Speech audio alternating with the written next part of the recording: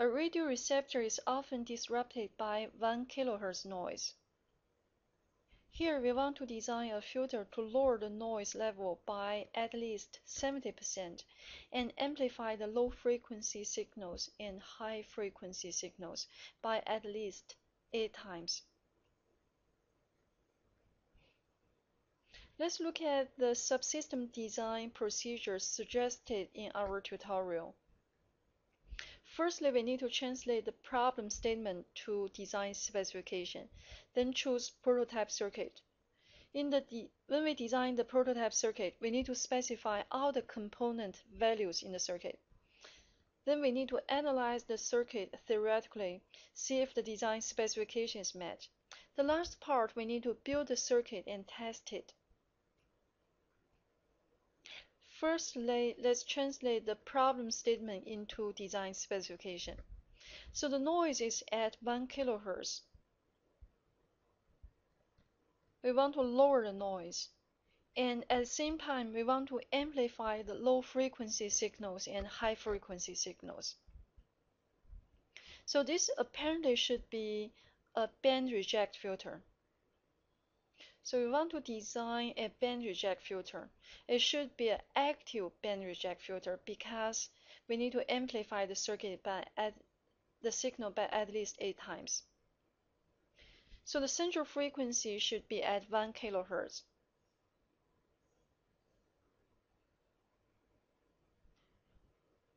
In the problem statement, it says that we want to amplify the low frequency and high frequency signal by at least 8 times. Let's make the passband gain equivalent to 10.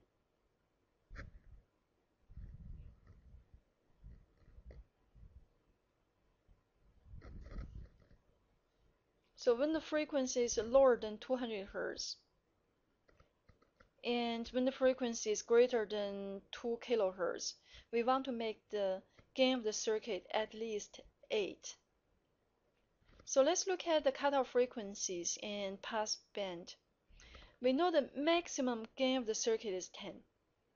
So the cutoff frequency is defined as at the cutoff frequency, the magnitude of the transfer function is 1 over square root of 2 times the maximum ma magnitude. That is 1 over square root of 2 times 10 should be 7.07, so it's around 7.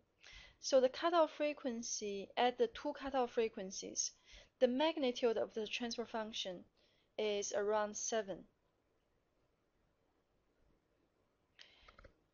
From our analysis, we can see that the passband is defined as the two cutoff frequency difference.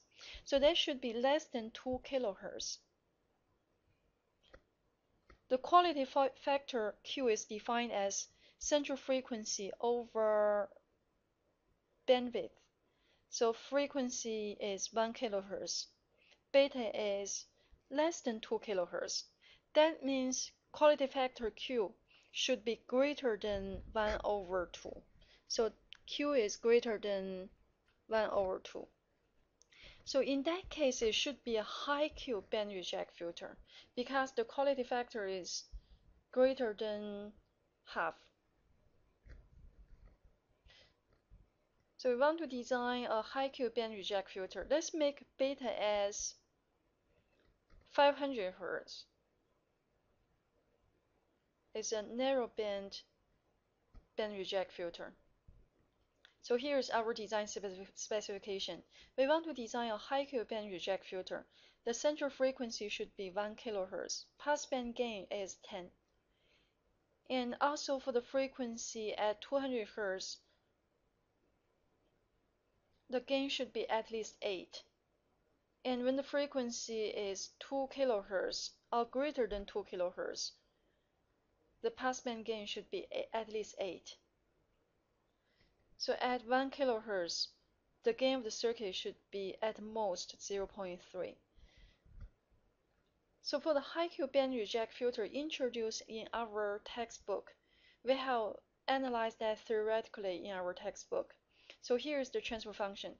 That means the maximum gain of the circuit is 1. If we want to use this high Q band reject filter, we need to provide a passband gain of 10. So that means we can add another stage, which is an inverting amplifier. It has just two components, RF and RI. So we need to make RF over RI equal to 10. In that case, when we cascaded the two stages, the passband gain could be 10. So let's work on the first stage, the high Q band reject filter. The central frequency is 1 kHz. So central frequency in radian per second should be 2 pi times 1k. So from the transfer function, we can see omega 0 square is 1 over r squared c squared. We can derive that resistance should be 1 over omega 0 over c. We can pick up a standard capacitance 0.1 microfarad. That is a standard capacitor value. So resistance should be 1 over omega 0 times c. Omega 0 is 2 pi 1000. Capacitance is 0.1 microfarad. So we got 1.59 kilo ohm. We can choose 1.6 kilo ohm standard resistor.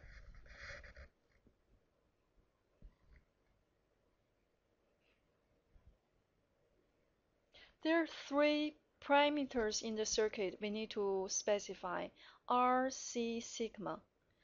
So sigma can be calculated based on this equation, 1 minus 1 over 4Q. Q is the quality factor.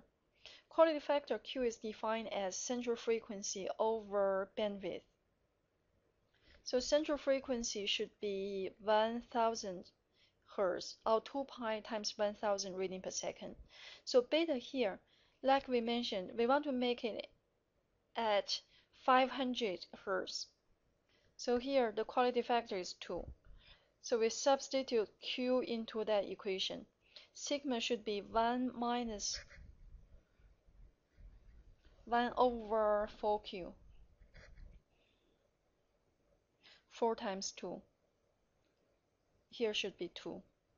So here we can calculate sigma should be 0.875.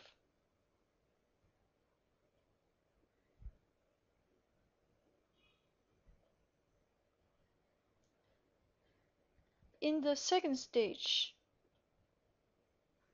we need to specify RF and RI. So RF over RI should be equal to 10. So we can pick up 10 kilo resistors and 1 kilo resistor. RF is a 1 kilo 10 kilo resistor. RI is a 1 kilo resistor.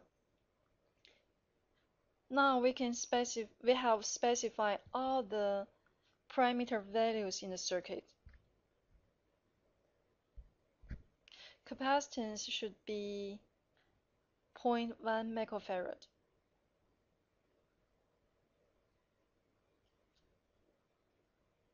in the design here is 2C, so it should be 2 times 0.1, so it's 0.2 microfarad.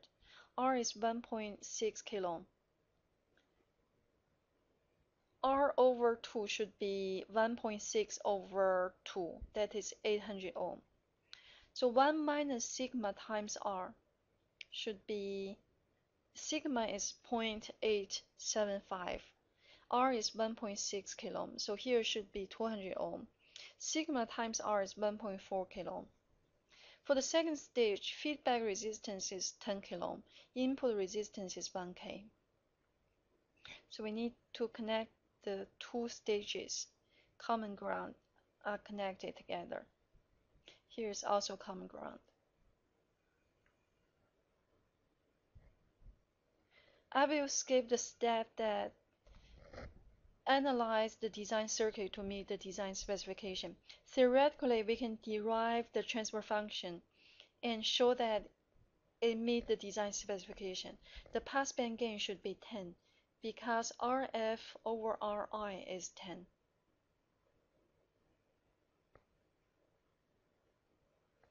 So let's build the circuit and check with the design specification. After we build the circuit, let's check with when the input is at 200 Hz.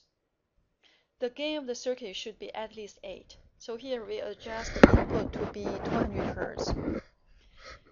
So the output voltage is 9.1, input voltage is 1.02. So the gain of the circuit is output over input, 9.1 over 1.02. Apparently that is greater than 8.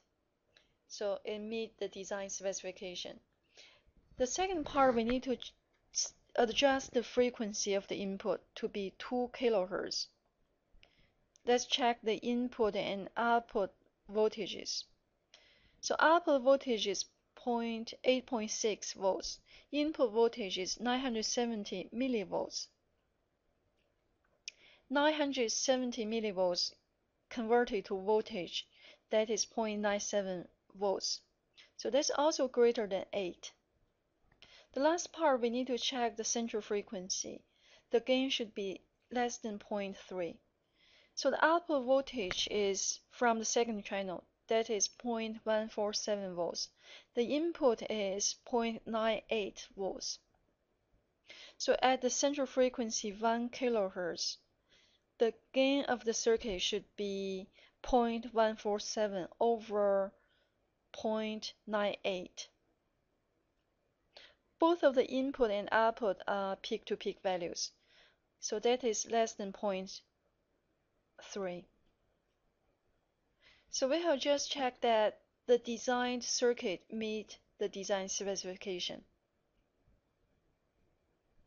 So here's the circuit we tested. So we have shown that it does meet the design specification.